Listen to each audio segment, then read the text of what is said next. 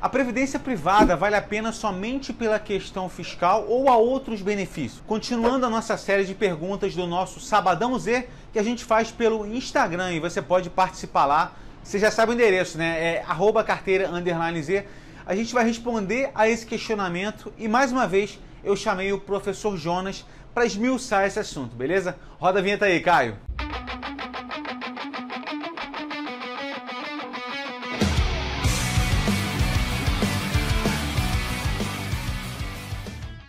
Olá, a motivação para esse vídeo de hoje, então, é uma pergunta de um assinante que nos perguntou se planos de previdência apenas pela questão fiscal, pelo incentivo fiscal concedido pelo governo, se eles valiam a pena. Antecipando, nossa resposta é, é, é já há um longo tempo que a gente diz isso, a nossa resposta é que sim, né? Então, em dezembro de 2020, a gente já gravou um vídeo com duas estratégias sobre isso eu vou deixar o link disponível é, aqui. Então, explicando rapidamente, né, a gente está falando de plano de previdência, incentivos fiscais. Né? Então, assumindo que é, a gente está falando né, as duas classes de plano de previdência, VGBL versus PGBL, se a gente está falando de incentivos fiscais, pagar menos imposto de renda, né? então Vou assumir que a pergunta se dizia respeito a PGBLs, então a gente está falando de PGBL. É, você tem duas opções, tabela progressiva e tabela regressiva no PGBL. Lembra, o governo te dá um incentivo, né, que é uma postergação da cobrança de imposto de renda até 12% da sua renda bruta, assumindo que você está numa alíquota, esse é o caso que vale a pena, mais vale a pena, né? Assumindo que você está numa alíquota de 27,5% de imposto de renda, da alíquota mais alta, significa hoje, né, você ganha mais de R$ 4.664,68 por mês, então você está na alíquota de 27,5%. O governo, então, ele posterga a cobrança de imposto de renda sobre 12% da sua renda bruta. Então, nesses 12% da sua renda bruta, eh, não existe a cobrança de 27,5% no seu caso. Né? Então, isso corresponde a 3,3% da sua renda bruta, que o governo né, ou deixa de cobrar ou te restitui. De qualquer forma, é um, é um dinheiro a mais que você tem. Né? Ou no ato da declaração, se você vai pagar menos, você tem mais de uma fonte de renda, tá? E, abril, mais ou menos, ou nos lotes de restituição você vai pegar esses 3,3% da sua renda bruta de novo. Né?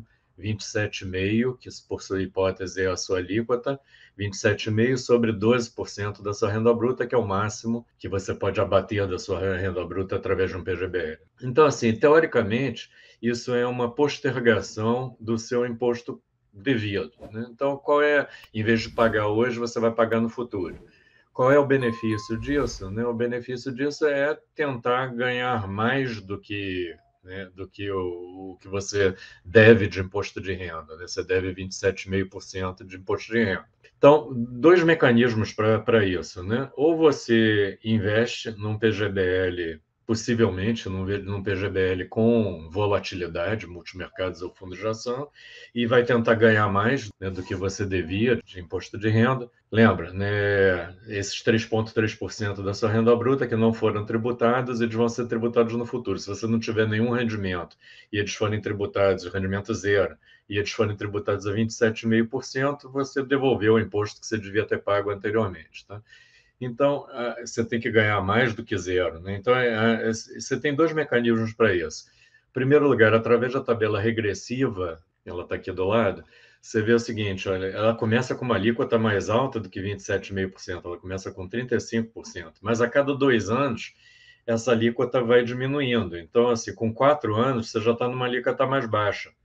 Então, você já está em vantagem a partir de quatro anos. Mas o legal mesmo é um investimento de longo prazo. Né? Se você puder ficar 10 anos, a tua alíquota que era né, na data da declaração 27,5%, caiu para 10%. Tá? Essa é uma das vantagens do, do PGBL. Então, para isso, a gente, lá naquela apresentação de dezembro de 2020, que eu vou deixar o link aqui, então a gente projetou duas estratégias com, com isso. Tá? E eu vou te mostrar os resultados dessas estratégias. A primeira é, lembra, a cada, a cada ano você tem que depositar, e, e a, hipótese aqui, eu não quero contar com um rendimento extraordinário do meu fundo de previdência, tá?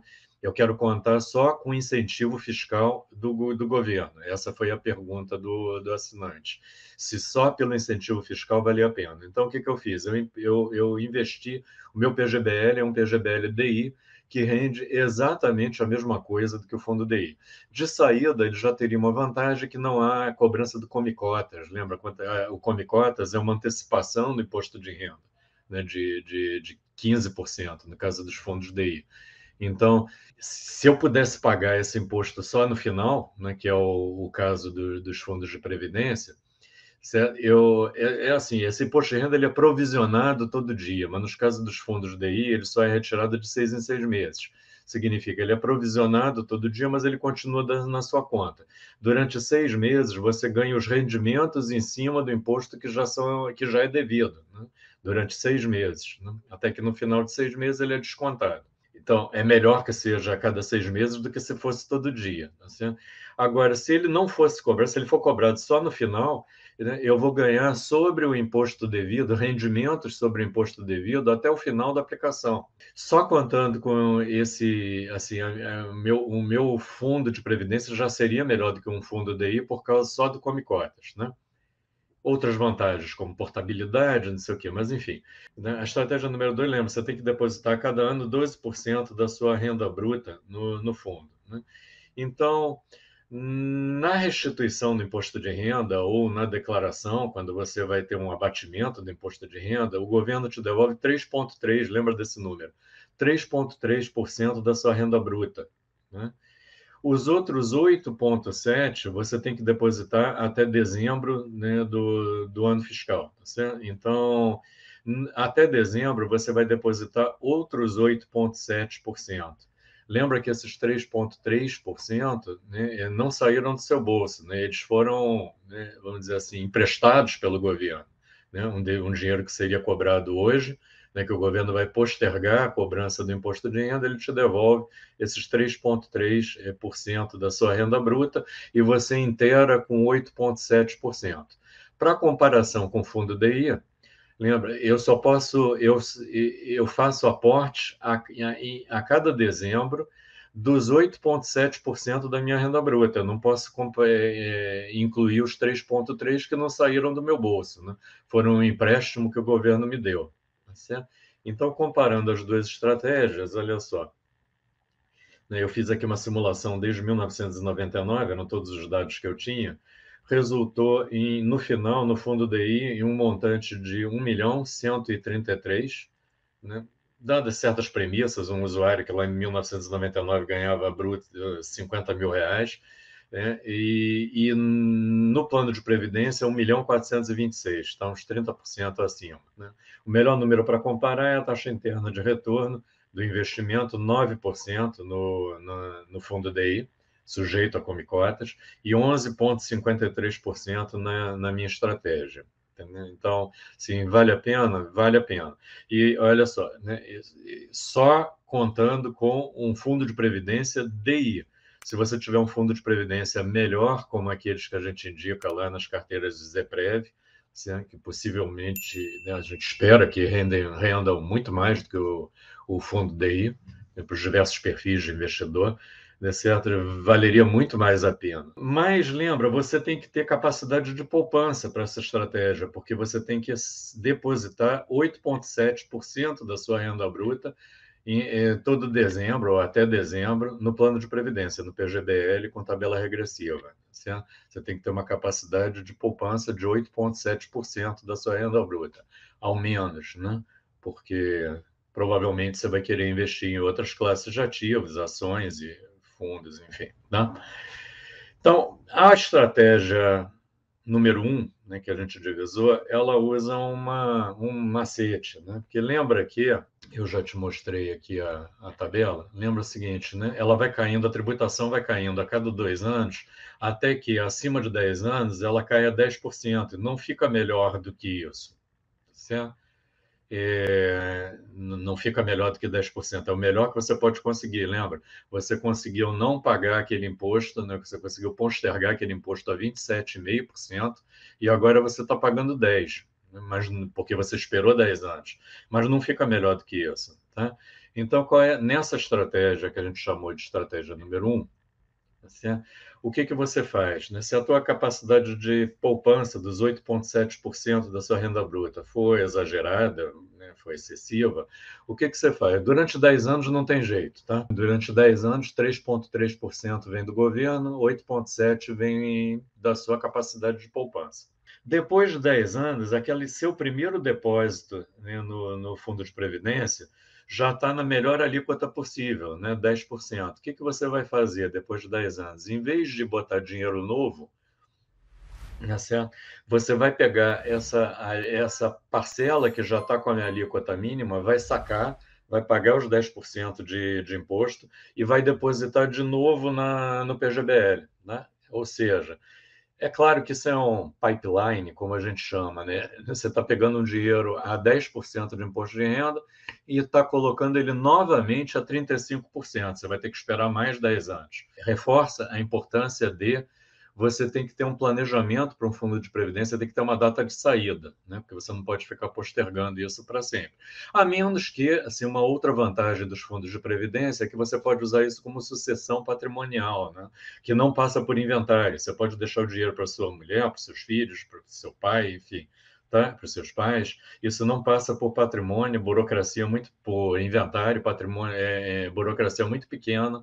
Então, você pode estar interessado em não sacar o dinheiro nunca, né? mas se for para você mesmo, para o seu próprio desfrute, vamos dizer assim, você tem que ter um planejamento de saída também. Então, essa estratégia é válida durante né, alguns anos. Eu não posso ficar a vida inteira sacando né, é, de 10 e devolvendo para 35. Tá? Então, mas se você fizer isso, olha só, você aquela tua primeira parcela que já está a 10% é o suficiente para cobrir os 8,7% 10 anos depois, tá? Porque ela já rendeu alguma coisa. Então, a partir de 10 anos, você não está depositando dinheiro novo, mais nenhum. Tá? Você saca de 10, você saca a parcela mais antiga e torna a depositar né, a cada ano. Saca a mais antiga e torna a depositar. Então, dito isso, olha só, é claro que você, no final, tem menos dinheiro, porque você depositou menos dinheiro, né? Você não tem dinheiro novo entrando, você está sacando e depositando, sacando e depositando. Então, você teria 457 mil reais na, num fundo DI simples, sujeito a comicota, sujeito a uma tributação de 15%, e é, no fundo de previdência, 709 mil. A melhor maneira de comparar não é pelo dinheiro ao final do período, é pela taxa interna de retorno, que melhorou, tá vendo? Olha só, ela passou de 11,53 para 12,2. Então, a pergunta que eu espero, então, ter, ter respondido do nosso assinante, de todos os, os demais, é, é, planos de previdência somente pelo aspecto fiscal valem a pena? Sim, né? Na, no nosso entendimento, vale, valem a pena. Tá? Então, espero ter sido útil. Né? Nos encontramos na próxima edição, ok? Abraço.